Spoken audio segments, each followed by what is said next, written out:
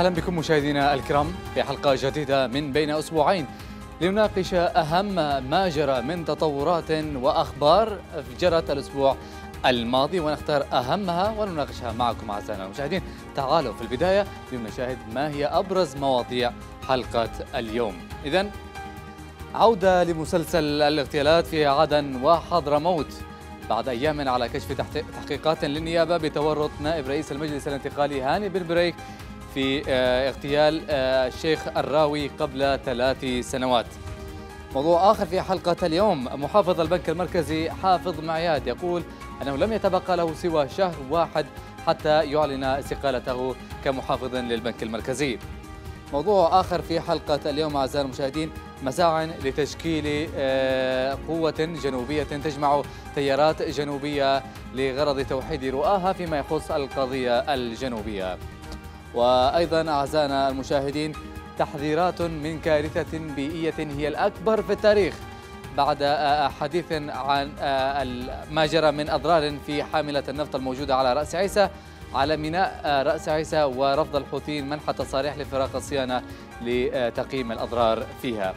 بالإضافة إلى ذلك أعزائنا المشاهدين نتحدث اليوم عن عملية تفويج الحجاج اليمنيين للسعودية ومكرمة العاهل السعودي بتفويج ألفي حاج يمني وحاج أيضا من أسر وأهالي الشهداء من الجيش الوطني والمقاومة. كل هذه المواضيع نتحدث عنها بعد قليل ابقوا معنا.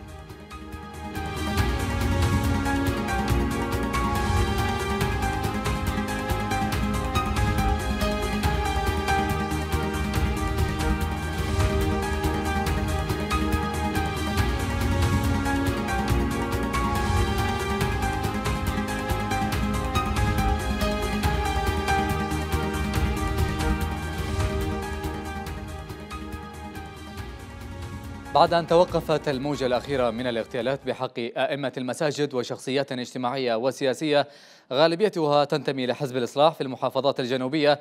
ها هي تعود من جديد بوتيرة أشد. الأحد الماضي اغتال مسلحون مجهولون شقيق عضو مجلس الشورى شيخ صلاح باتيس في مدينة سيئون بوادي حضرموت. قبل أيام فقط من هذه الحادثة تم اغتيال قيادي في حزب الإصلاح بعد خروجه من أحد المساجد بالضالع وهو الدكتور خالد غيمان. حسنا. لماذا آه، عاودت ماكينة الاغتيالات مجددا إلى الواجهة وأين هي الأجهزة الأمنية من ممارسة وظيفتها في حماية الناس؟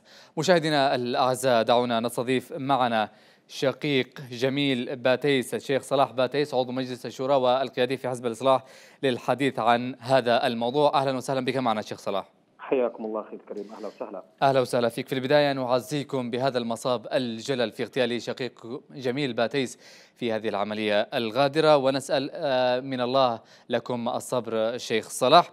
اذا بعد هذه الحادثة كيف تلقيتم نبأ اغتيال شقيقكم جميل؟ حفظكم الله أخي الكريم. بسم الله الرحمن الرحيم. نسأل الله تبارك وتعالى أن يتقبله في الشهداء وأن يتقبل كل الذين قتلوا آه، ظلما آه، وعدوانا وبهتانا في هذه الجرائم التي آه، لم يسلم منها بيت اليمن. كما نترحم على شهدائنا الذين سقطوا اليوم وارتقوا في عدن وفي كل المحافظات اليمنية التي تستهدفها ميليشيا الحوثي وشركائها من الميليشيا الإرهابية التي تستهدف الدولة اليمنية وتدمير مؤسساتها العسكرية والأمنية والمدنية وتستهدف الدولة اليمنية برمتها والشعب اليمني ومستقبله آه، حتى لا تقوم اليمن قائمة. طيب كما أنه آه كما انه اسم نعم. نعم تواصل آه، شيخ صلاح كنت أريد أن أسألك سؤال لكن بعد أن تكمل حديثك. آه، كما أنه لا يفوتني أيضا أن أسأل الله تبارك وتعالى أن يشفي الجرحى آه، ويفك المخطوفين ويمن علي على آه، الشعب اليمني بالأمن والأمان والاستقرار آه، ويعيننا على الاصطفاف وتوحيد الكلمة واستعادة الدولة وإسقاط هذا التمرد والانتقال إلى بناء الدولة الآمنة المستقرة إن شاء الله. إننا في لحظة تاريخية فارقة. كل هذه الاعتداءات وكل هذه الآلام وكل هذه الدماء تدعونا نعم. آه، مرة بعد أخرى إلى أن نصطف في وجه آه، أي ميليشيا متمردة على الدولة وأن نكون جميعا في صف واحد لاستعادة الوطن.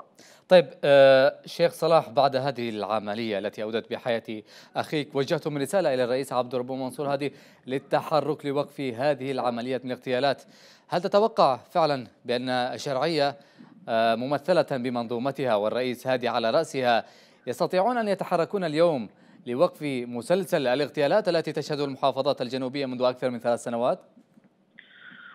أخي الكريم نحن عندما نتحدث عن الشرعية لا نتحدث عن أشخاص نحن نتحدث عن قيمة ونتحدث عن وطن ونتحدث عن مظلة آه، يصطف ويستظل بها كل شرفاء اليمن وقواهم الوطنية الحية نتحدث عن آه، شرعية دستورية منحت من قبل الشعب اليمني ولم يمنحها لنا آه، الإقليم ولم يمنحها لنا العالم. إنما نعم. الإقليم والعالم أيدها وباركها ودعمها.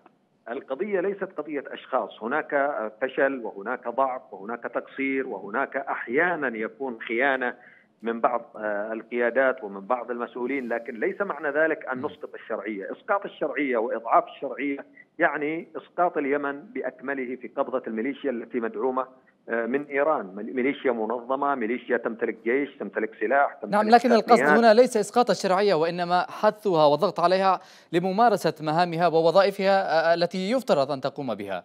وهذا الذي أتحدث عنه أخي الكريم. يعني أنا أتحدث عن مناشدة الرئيس ليس فقط مجرد مناشدة. يعني أنا أتحدث من منطلق مسؤولية بصفتي عضو مجلس الشورى وأديت نعم. اليمين الدستورية وفي عنقي يمين لهذا الوطن وأقسمت أمام رئيس الجمهورية أن نعم. أحافظ على اليمن ووحدته ونظامه الجمهوري ودستوره ومستقبله، يعني القضية لم تعد قضية مناشدة أو ترجي، يعني نحن نقوم بواجبنا. فرئيس طيب. الجمهورية وقيادات الدولة بقائهم خارج الوطن كل هذه السنوات لا شك أنه يجعل الوطن في مهب الريح ويجعله عرضة أكثر للتدمير نعم.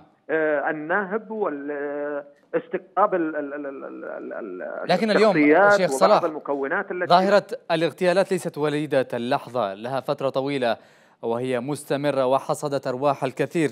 أكثر من 120 عملية اغتيال منذ ثلاث سنوات وللأسف انضم أخوك والشيخ أيضا وخالد غيمان أيضا إلى هذه القائمة. كيف تنظر لهذه الأرقام التي تحدث في مناطق محررة كان يجب أن تستقر بعد تحريرها؟ بلا شك بلا شك أن حمام الدم سيستمر ما دام أن الوطن آه، مختطف والعاصمة مختطفة وأجهزة المخابرات والاتصالات ووزارة الدفاع ومستودعات الجيش ومستودعات وزارة الدفاع ووزارة الأمن والأمن القومي ومركز المعلومات. كل هذه في قبضة ميليشيا تحاصر آه، وتسيطر على العاصمة وتختطف الدولة لا شك.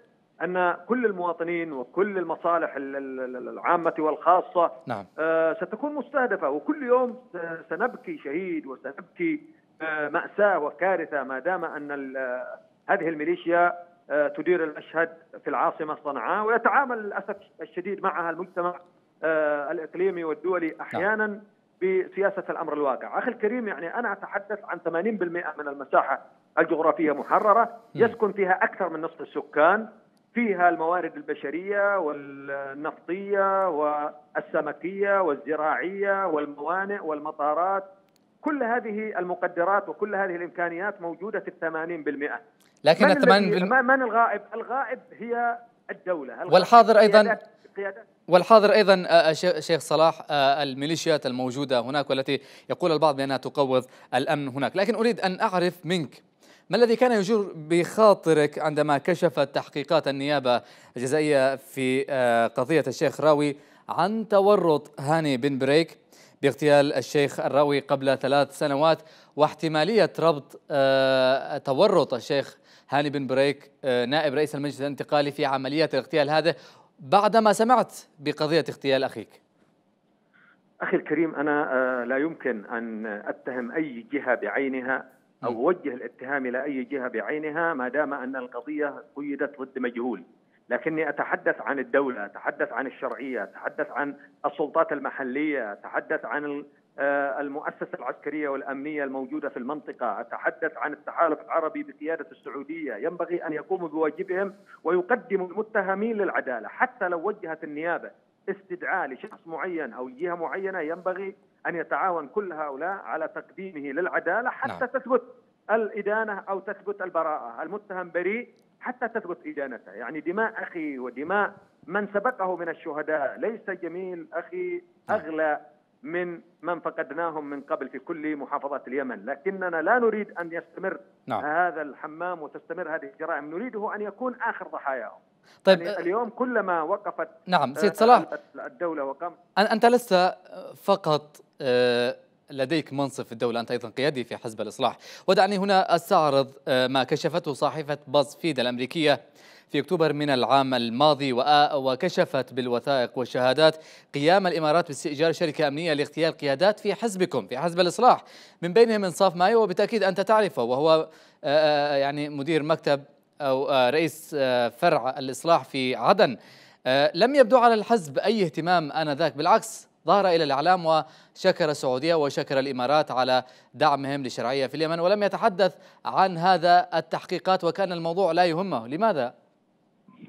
آه، الكلام ليس صحيح أخي الكريم. الإصلاح ومنذ اللحظة الأولى آه، فرع التجمع العلمي للإصلاح بمحافظة عدن آه، عندما حدث ذلك الانفجار وحدثت أيضا عمليات أخرى قدم شكوى رسمية لدى السلطات الأمنية في محافظة عدن ووجه جمع كل الأدلة وكل المعلومات التي تأتي من هنا وهناك. لا ثم بعد ذلك التحقيق فيها.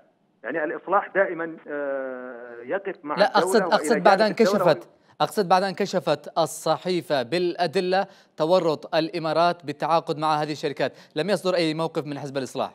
في النهاية تبقى هذه مجرد وثائق آه، واتهامات موجهة لدولة معينة على الدولة اليمنية ممثلة ب آه، وزارة الداخلية والنيابة العامة نعم. أن تحقق فيها يعني القضية لا نريد أن ننجر خلف كل من يقول لدي وثائق أو عندي معلومات ونذهب نحن كتجمع عن الإصلاح أو نذهب نحن كقبيلة أو نذهب كأشخاص نعم. نحن يا أخي الكريم ننشد دوله يعني نريد الدولة اليمنية ممثلة بالسلطة الشرعية أن تقوم بواجبها ونحيل هذه الاتهامات وهذه الوثائق التي نعم. آه، تصدر من هنا وهناك للنيابة وللسلطات الأمنية الموجودة في آه، المحافظات المحررة نعم. للتحقيق فيها والقيام بواجبها هذا الذي نرجوه وملاحقة كل المجرمين الذين آه، ينفذوا هذه العمليات وإيقافهم عند حدهم، الغريب أن يقتل المجني عليه في وسط مدينة مثل مدينة سيئون ثم تمضي هذه السيارة آه، التي رصدتها الكاميرات دون أن يلقي عليها القبض أحد،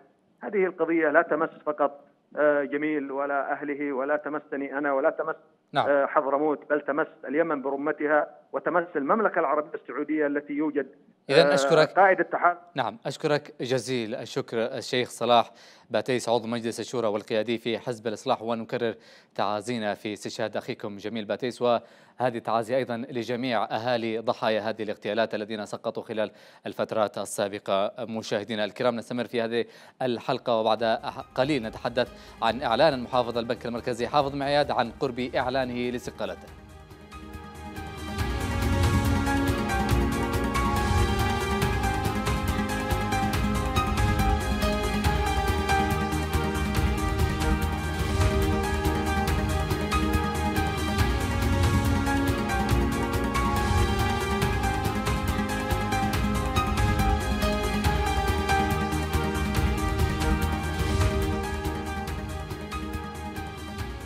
خضم صراعات قيادات البنك المركزي خاصة بين المحافظ ونائبه. يخرج المحافظ معياد معلنا اعتزامه الاستقالة من منصبه بعد نحو شهر.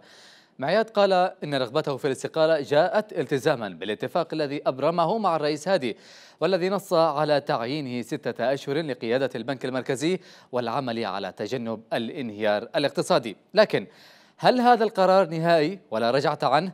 لا سيما وأن الصراع دائما محموم على تولي منصب محافظ البنك حتى معياد نفسه كان أحد المنافسين بقوة لهذا المنصب. وما حجم تنفيذه لوعده بتجنب الانهيار الاقتصادي أثناء فترة قيادته للبنك المركزي وهل حقق ما يشكر عنه خلال فترة رئاسته حتى الآن؟ مشاهدينا الكرام دعوني أستضيف معي عبر الهاتف رئيس مركز الإعلام الاقتصادي السيد مصطفى نصر. أهلا وسهلا بك معنا سيد مصطفى. أهلا وسهلا بك وبالمشاهدين الكرام. أهلا وسهلا فيك. إذا مصطفى سيد مصطفى كيف قرأت لإعلان محافظ البنك المركزي حافظ معياد بأنه سيستقيل بعد شهر؟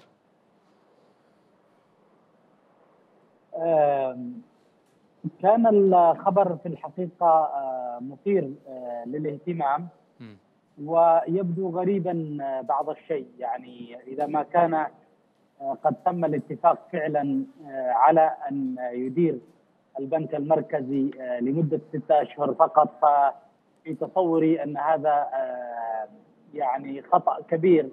كون مؤسسة مصرفية أو مؤسسة سيادية بهذا الحجم لا يفترض النظر إليها ك بهذه الطريقة. هذه مؤسسة يفترض اختيار قيادتها بطريقة كفأة وأيضا تحمل دلالات كبيرة لما لها من تأثير على السياسة النقدية وعلى الوضع الاقتصادي و وهل وهل ترى أن شخصية حافظ معياد لم تكن مناسبة لهذا المنصب؟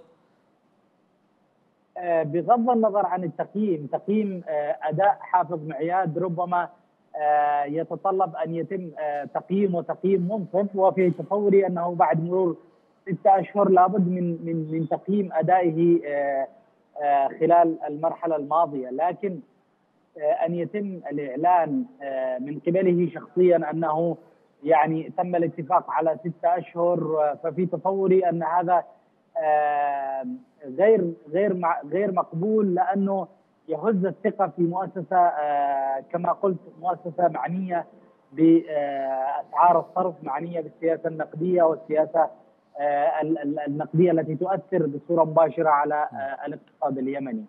لكن من هذا الموضوع سيد سيد مصطفى هل تتوقع فعلا بأن هذا الإعلان لا رجعة عنه لن يس يعني سيستقيل تماما أم أنها حركة ربما يقول البعض فقط للضغط على جهات معينة وبالتالي يقوم رئيس الجمهورية أو هو يطلب التمديد له أكثر من ستة أشهر التي كان قد أعلن عنها في السابق يمكن تفسيرها في بأكثر من من تفسير. قد يكون أحد التفسيرات أنه الصعوبات التي يمكن أن تواجه الاقتصاد اليمني أو أو سعر الريال خلال الأيام المقبلة لا سيما مع اقتراب انتهاء الوديعة السعودية وهذا سيشكل ضغط كبير على الريال اليمني خلال المرحلة المقبلة، أيضا التحديات التي وضعتها جماعة الحوثي من خلال لجنة المدفوعات وعدم التعامل مع العملات النقديه الجديدة المصدرة من قبل الحكومة والبنك المركزي في عدن خلافه مع النائب وأيضا الكثير من من من الصعوبات التي واجهها أثناء عمله ربما هذا يجعله يخرج ومن البنك بسجل يعني إلى حد ما يعني أقل كلفة من المرحلة المقبلة. هذه قد تكون إجابة على هذا الإعلان الذي أعلنه وهو إعلان في الحقيقة. لكن سيد, سيد مصطفى ألا ترى بأنه لم يكن موفقا منذ البداية عندما قال بأنه جاء لوقف الانهيار الاقتصادي، هل فعلا كان يستطيع أن يوقف الانهيار الاقتصادي عندما يتولى هذا المنصب؟ في تصوري أن هذا نوع من التسويق لشخصيته أكثر منه شيء آخر. والملفت أنه خلال مرحلة يعني خلال المرحلة الماضية كان بين فترة وأخرى يثير الكثير من من الجدل حول القضايا ابتداء بقضايا الفساد التي تم إعلانها فيما يتعلق بقيادة البنك المركزي السابقة والعطاءات أو بيع وشراء العملة وبعدها موضوع الربط مع بنك مأرب وبنك مع فرع البنك في مأرب وفرع البنك في المهرة ثم الآن موضوع الخلافات مع النائب.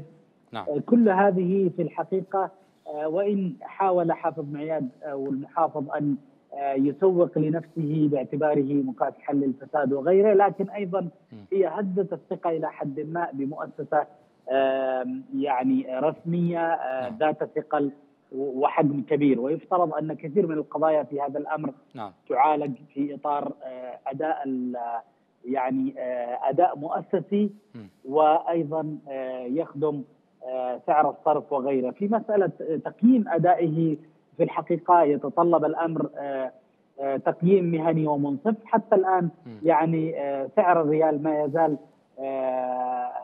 يتراجع في حدود ال 600 للدولار الواحد وبالتالي ما تحقق يعني هو بفعل عوامل خارجية ليست مستدامة نعم. وفي أي لحظة بالنسبة يمكن أن يتراجع. بالنسبة لتقييم آه، فترة رئاسة محافظ البنك المركزي حافظ معيات فنحن ننتظر منكم في مركز الإعلام الاقتصادي خاصة وأنتم آه، بين فترة وأخرى تصدرون تقارير حول ما يتعلق بالمسائل المالية في اليمن. وهنا أريد أن أسأل إن صح وتمسك حافظ معيات بقراره بالاستقالة ما هي الخيارات الموجودة لدى الحكومة اليمنية فيما يتعلق بالبنك المركزي لخلافة آه، حافظ ميعاد بعد رحيله؟ بالتأكيد هذا آه، سيولد صعوبة أو أن مسألة تغيير محافظ البنك المركزي بين فترة وأخرى بحد ذاتها آه، تعطي رسالة سلبية سواء كانت للداخل كقطاع مصرفي ووضع اقتصادي أو رسالة للخارج كمؤسسات مالية وغيرها. فبالتالي قبل أن يتم آه، اختيار شخصية لمنصب محافظ البنك المركزي يفترض أن آه، يتم آه، اختيار شخصية ذات ثقل كبير تتمتع بخبره كبيرة وكفاءة ونزاهه وأيضا الحرص على الاختيار لهذه المؤسسة والاستمرار في في أداء الشخصية القيادية لبنك أو مؤسسة بهذا الحجم. نعم. وضحت نعم وضحت الصورة. نعم وضحت الصورة. شكرا جزيلا لك رئيس المركز الإعلامي أو من رئيس مركز الإعلام الاقتصادي السيد مصطفى نصر على آه، توضيح الصورة فيما يتعلق في البنك المركزي ومحافظه حافظ معيات. شكرا جزيلا لك. مشاهدينا الكرام بعد قليل نتحدث عن اجتماع عمان الذي ضم تيارات جنوبية لمناقشة رؤاهم السياسية. ابقوا معنا.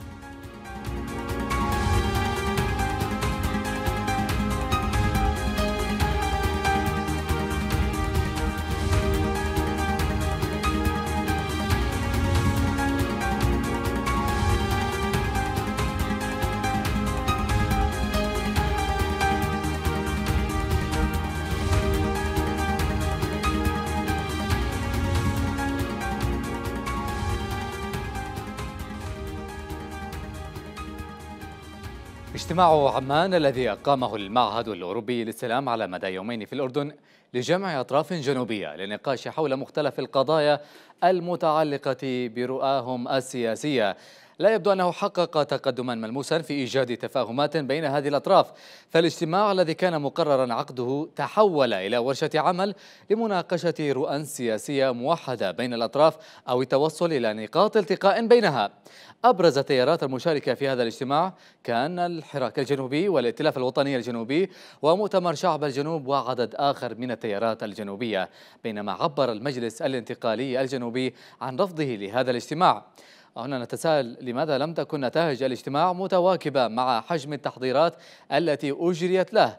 وهل يرغب المجتمعون بقطع طريق على المجلس الانتقالي الذي يصرح عادة بأنه الممثل الوحيد للجنوبيين ويحظى بتأييد واسع في أوساط الشارع؟ أعزائنا المشاهدين كان من المفترض أن يكون معنا عبر الهاتف وزير الدولة وأمين عام حركة النهضة عبد الرب السلامي لكن للأسف اعتذر في اللحظات الأخيرة آه، عن آه، انضمامه معنا في هذا البرنامج. للأسف نقولها مرة أخرى إذا تحدثنا عن هذا الاجتماع الذي لم آه، تكن نتائجه كما كان متوقعا. تحول إلى ورشة عمل تغيب البعض عن الحضور. يقول البعض أو يقيمونه بأنه فشل في تحقيق آه، أهداف عقده منذ البداية. شارك في المؤتمر 20 شخصية جنوبية بينهم قادة تقليديون تقلدوا مناصب كبيرة إبان جمهورية اليمن الديمقراطية آه، الشعبية أي الشطر الجنوبي من البلاد وآخرين من فصائل الحركة الجنوبي الموالي للحكومة ومن فصائل الداعية لفك ارتباط الجنوب عن الشمال. إذا أعزائنا المشاهدين كانت هذه لمحة سريعة وسنتناولها بالتفصيل لاحقا في حلقات قادمة. بعد قليل نتحدث عن حاملة النفط التي ترسو قبالة ميناء رأس عيسى والتي تهدد البحر الأحمر ودول المشاطئة له بكارثة بيئية. آه، هي الأكبر على مر التاريخ.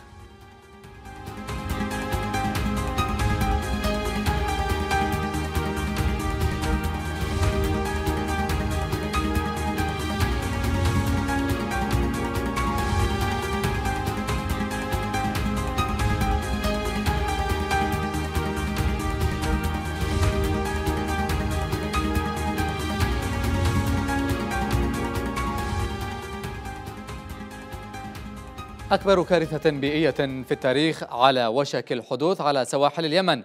حاملة نفط عملاقة تحوي بداخلها مليون برميل من النفط قبالة ميناء رأس عيسى شمال محافظة الحديدة. حاملة النفط صافر لم يتم صيانتها على مدى أربع سنوات. ورفض الحوثيون في أكثر من مناسبة إرسال فريق صيانة لتقييم وضعها وإصلاحها على الرغم من توسط الأمم المتحدة. إذا هل الوضع حرج إلى هذه الدرجة؟ ولماذا يرفض الحوثيون السماح بصيانة حاملة النفط هذا؟ دعوني مشاهدينا الكرام استضيف معي عبر الهاتف الخبير الاقتصادي عبد الواحد العوبلي. أهلا وسهلا بك معنا سيد عبد الواحد. أهلا وسهلا بك أخي هشام. مساء سعيد مساء النور. اذا عبد الواحد هل الوضع حرج إلى هذه الدرجة فيما يخص حاملة النفط صافر؟ بالإمكان أن نقول أن الوضع حرج جدا بالمقارنة مع كارثة حصلت مسبقا والتي معروفة تاريخيا باسم كارثة إكسون فالديز التي حصلت لإحدى ناقلات النفط الخاصة بشركة بشركة إكسون موبيل. هذه الحادثة آه، نتج عنها آه، تسرب النفط من ناقلة آه، موجودة في في منطقة ألاسكا الأمريكية في المحيط في المحيط الهادي.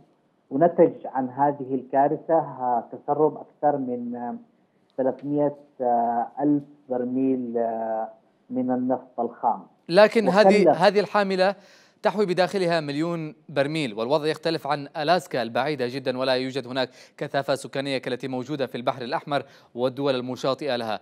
هل يبدو الوضع آه، أكثر يعني آه، خطورة من الحادثة التي ذكرتها؟ صحيح كلامك صحيح جدا وأنا ما ذكرت هذه الحادثة إلا فقط للمقارنة. لأنه هذه الحادثة التي تعتبر أكثر الأكبر في التاريخ آه كمية النفط المتسرب عنها لا يساوي حتى ربع الكمية الموجودة على الباخرة حاليا والتي تقدر بحوالي مليون و140 ألف برميل. يعني أربعة إلى خمسة أضعاف كمية آه إكسون فالديز بخلاف طبعا زي ما أنت ذكرت إن المنطقة الموجودة فيها الباخرة صافر هي منطقة مغلقة آه، متمثلة بالبحر الأحمر والمليئه بالأحياء البحرية والتي يعتمد علي عليها الالاف من الصيادين في سبيل الحصول على على رزقهم. وتعطل كذلك حركة الملاحة الدولية التي يمر عبر البحر الأحمر حوالي 10 إلى 15% من التجارة العالمية. فالكارثه ستكون أكبر بكثير والتكاليف ستكون أكبر بكثير ولنا نعرف مثلا أن مقدار التأمين على هذه الباخرة هو 100 مليار دولار. آه طيب آه، لو تخبرنا عبد الواحد سيد عبد الواحد عن طبيعة هذه آه، الحاملة. حاملة النفط صفر ما هو دورها؟ ما هو وظيفتها؟ ولماذا ترسو أمام آه، ميناء أو قبالة ميناء رأس عيسى شمال حديدة؟ في البداية بداية إنتاج النفط من من صافر في نهاية الثمانينات تقريبا في 88 تم إحضار هذه الباخرة كخزان عائم يتم آه، تجميع آه، النفط الخام القادم من من صافر عبر انبوب النفط انبوب النفط الخام آه، كحل مؤقت إلى أن يتم بناء ميناء على الأرض يحوي خزانات للنفط والتي عبرها يمكن التصدير والضخ لحاملات المشترين القادمة القادمة إلى اليمن. ولكن ما حدث أنه طوال 30 سنة أو 40 سنة بسبب بسبب الفساد والمشاكل التي صاحبت نظام نظام علي عبد الله صالح. فتم تأجيل هذا الموضوع وتم سرقة موازنات مشروع ميناء وخزانات رأس عيسى عدة مرات حتى أن تم بناؤه مؤخرا. ولكن جاءت الحرب وجاء الانقلاب الحوثي وتوقف هذا هذا المشروع في في منتصفه تقريبا. طيب الباخرة أصلا جاءت كحل مؤقت طيب ولكن هذا الحل المؤقت استمر لأكثر من ثلاثة عقود. لكن هل لديك معرفة بطبيعة الأضرار آه الموجودة حاليا في هذه الحاملة؟ هل هي خطرة؟ هل يمكن صيانتها وإصلاحها في وقت وجيز قبل حدوث هذه الكارثة؟ مبدئيا الباخرة عمرها أكثر من 44 عام هي من إنتاج عام 74 تقريبا. وهي في الخدمة منذ 88 فالباخرة عمليا خرجت عن الخدمة قبل ما يزيد من أكثر من عشر سنوات. وفي السنوات الأخيرة كانت تكلفة صيانة هذه الباخرة تصل إلى أكثر من 20 أو 25 مليون دولار سنويا. وكان من المحتم الانتهاء من من مشروع ميناء خزانات راس عيسى كحل حتمي لاستبداء لاستبدال الباخرة. مع أيام الحرب الباخرة تم نهب مخصصات الصيانة الخاصة بها. والباخره طبعا موجودة في عرض البحر وتتعرض للرطوبة والصدأ. وممكن في أي لحظة أن تتعرض جدرانها للتصدع وأن يتم تسرب النفط الخام. أو حتى أقرب خطأ بسيط يؤدي إلى اشتعالها وهي كارثة أكبر إن حصلت. أه، طيب لماذا يمنع الحوثيون ولا يصدرون تصاريح لفرق الصيانة والفرق الهندسية لتأتي لإصلاح هذه الأضرار؟ أغلب التحليل الأقرب لهذا الوضع هو أن الحوثيين يطمعون بالمنافع المادية التي ستؤول من بيع النفط الموجود على الباخرة. أنت تتكلم على أكثر من 100 مليون و140 ألف برميل تصل قيمتها إلى أكثر من 70 مليون دولار بالإضافة إلى قيمة الباخرة نفسها لو افترضنا في اسوء الأحوال أن يتم بيعها كخرده فقيمتها قد تصل إلى 20 أو 25 أو حتى 30 مليون دولار. فالحوثيين بكل بساطة غير آه، آه، مصممين على الحصول على هذه المنافع وكانوا نعم. اعتمدوا على الأمم المتحدة كوسيط دولي آه، لهم أن يحصلوا على هذه المنافع ولكن الظاهر أن هذا لن يحدث. طيب كنت كنت قد ذكرت في البداية معلومة أثارت انتباهي حول المبلغ المخصص كتأمين لهذه الباخرة بمليارات الدولارات. هل يعتقد أن يكون آه، السبب منع الحوثيين آه، لإصلاح هذه السفينة أن يكون لهم مبلغ من هذه التأمينات؟ وإن كان يعني هذا فيما يخص الجانب الأول. الجانب الآخر الآن ما هي الخيارات الموجودة لدى الحكومة ولدى الأمم المتحدة إن استمر الحوثيون في إصرارهم على رفض دخول فرق الصيانة الهندسية إلى آه، أو الوصول إلى هذه السفينة؟ اولا فيما يتعلق بموضوع التأمين آه، التأمين الباخره الآن غير مغطاه تامينيا ولكن أنا ذكرت لك مبلغ التأمين لكي أوصف لك مقدار وفداحة الكارثة لو حصلت ولكن للأسف التأمين لم تدفع أقساطه منذ منذ منذ بداية الحرب وبالتالي الباخرة غير مؤمنة ولو حدثت آه، أي كارثة فمعناته أن اليمن هي ما تتحمل أعباء أي تكاليف ناتجة عن عن هذه الكارثة. وبالنسبه للوضع الحالي المفروض المفترض أن الأمم المتحدة بحكم أنها قد تدخلت في الموضوع منذ تقريبا آه، أكتوبر الماضي وكانت نزلت مناقصة فعليا لل لعمل فحص للباخرة وعمل صيانة مبدئية وربما سحب الباخرة وتفريغها من النفط الخام لتجنب تجنب هذه الكارثة ولكن مثل ما قلت لك أنه يبدو أن هناك أنا أنا بصراحة أحمل الأطراف داخل حكومة الشرعية ومع الحوثيين آه أي تبعات قد تجري؟ نعم أي تبعات قد آه، تجري؟ فيما يخص نعم. هذه الكارثة. شكرا جزيلا لك الخبير الاقتصادي عبد الواحد العوبلي لإيضاح الصورة حول ما يتعلق بأزمة حاملة النفط. هذا مشاهدينا الأعزاء بعد قليل نتحدث عن عملية تفويج الحجاج اليمنيين آه، بعد قليل. ابقوا معنا.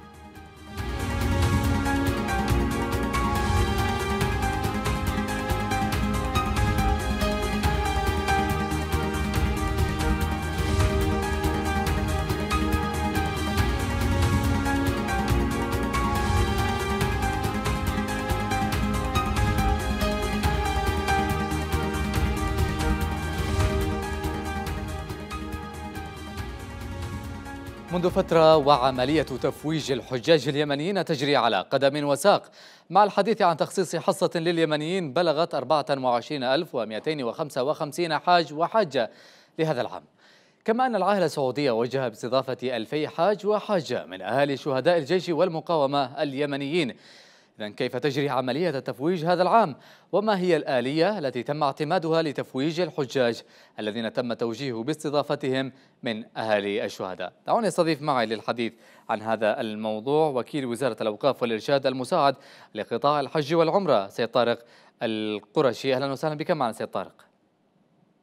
أهلا وسهلا بكم حياكم الله. الله يحييك سيد طارق. اذا آه، كيف تجري عملية تفويج الحجاج اليمنيين هذا العام؟ وهل اختلفت عن الأعوام الماضية؟ هل تم تطوير الخدمات المقدمة للحجاج؟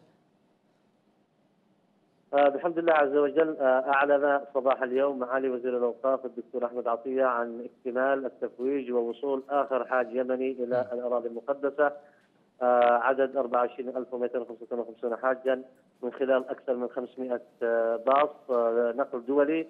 الحمد لله عز وجل تمت العملية بكل سلاسة ويسر وسهولة وبتطوير يفوق الأعوام الماضية بمراحل حيث اعتمدت اعتمدت لجنة النقل في وزارة الأوقاف وقطاع الحج والعمره هذا العام استراتيجيه تفويج مناطق جغرافية محددة في اليمن تباعا بترتيب ووفق نظام معين يحدد عدد من الشركات لنقل هذه الجموع من من تلك المناطق وبحمد الله عز وجل فقد تمت العملية بانسيابية كاملة لم تذكر أي حادثة أو حالة تكدس في المنفذ الوحيد والذي تعرفون جميعا بأن جميع الحجاج يتدفقون من خلال منفذ بري وحيدا إلى الأراضي المقدسة. لكن حصه اليمن بلغت 24255 حاج وحاجة تقريبا لهذا العام.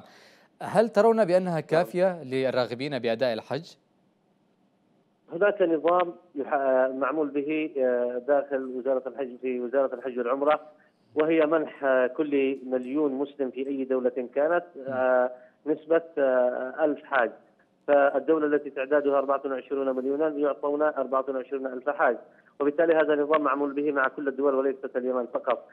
وتعتمد هذا على آخر إحصائية تقدمها الدولة وتقوم بها الدولة ومن ثم تقوم بتحديث بياناتها لدى وزارة الحج والعمرة.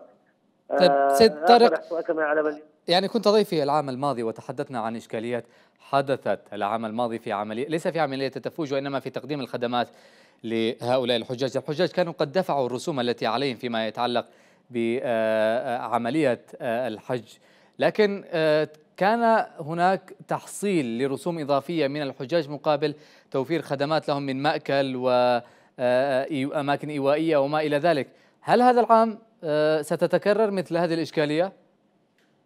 أخي العزيز هذه معلومة آه، للأسف آه، تم إثارتها في الإعلام وهي ليست صحيحة. البتة نحن ننفيها وأنا هنا أنفيها جملة وتفصيلا. نحن نعلن عن برنامج محدد للحجاج ونعلن عن أسماء وكالات معتمدة محددة. هذا البرنامج يشمل الغذاء والسكن والنقل والمواصلات. وبالتالي فإن أي وكالة قامت بأخذ مبالغ إضافية ونحن قمنا بالتحقيق وأوقفنا وكاله بتوجيهات من معالي الوزير تم إيقاف وكالة العام الماضي أي لم تشتغل هذا العام. آه أي مبالغ تحصل هي مدفوعة نعلن نحن قبل بدء التسجيل عن برنامج متكامل يحدد كل ريال أين مصرفه نعم. وقيمة ما هو ومع العلم أن 75% من المبلغ الذي يدفعه الحاج يذهب نحو المسار الإلكتروني يسدد مباشرة للحكومة السعودية ولا يمر عبر وزارة الأوقاف والإرشاد اليمنية. طيب. وبالتالي فإن جميع الخدمات المدفوعة يستلمها الحاج ونحن نراقب رقابة قبلية ورقابة أثناء تقديم الخدمة ورقابة بعدية ثم نقيم الوكالة على أساس هذه الخدمات الممنوعة من عدمها. طيب ننتقل الآن إلى الجزء الآخر من هذا المحور فيما يتعلق بالمنحة المقدمة من العاهل السعودي لاستضافة الفي حاج وحاجه من أهالي الشهداء والمقاومة. ما هي الآلية التي نعم. تم اعتمادها لاختيار هؤلاء الحجاج؟ شكرا جزيلا لك على هذا السؤال المهم آه، في الحقيقة أيضا هذا الموضوع يثار منذ العام الماضي ويتم ربطه بوزارة الأوقاف والإرشاد. أنا أعلن من خلال قناة يمن شباب هذه القناة الرائدة والمسموعة في مختلف الأراضي اليمنية وخارج اليمن بأن هذه المنح وجميع التأشيرات غير الحصة الرسمية لا تمر عبر وزارة الأوقاف والإرشاد بل لا نطلع عليها ولا نعلم عنها البتة.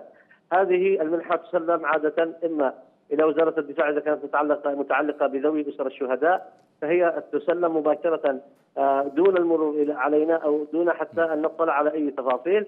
تمر مباشرة عبر الجهات المعنية في المملكة العربية السعودية آه، إلى وزارة الدفاع أو إلى الجهات الأخرى داخل اليمن وهي التي تقوم بتوزيعها وتسجيل الأسماء ورفعها وخدمتها، يعني نحن لا نطلع على هذه في وزارة نعم. الأوقاف ولا نشاهد على مثل هذه المكرمات أو هذه المنح والتأشيرات على الإطلاق. نعم وبالتالي آه، ربما أكون أنا وأنت وبعض المستمعين في نفس الوضع حيث لا نعلم آه، أي معلومات عن هذه التأشيرات نعم. إلا أننا نقدم الشكر الجزيل لحكومة قادم الحرمين الشريفين جلاله الملك سلمان على مثل هذه المكرمة وهي ليست بغريبة على المملكة التي دائما تقف مع الشعب اليمني في كل منعطفاته. اذا أنا أشكرك جزيل الشكر وكيل وزارة الأوقاف والإرشاد المساعد لقطاع الحج والعمرة السيد طارق القرشي. مشاهدينا الكرام وصلنا إلى نهاية حلقة اليوم من بين أسبوعين. أشكركم على طيب المتابعة إلى اللقاء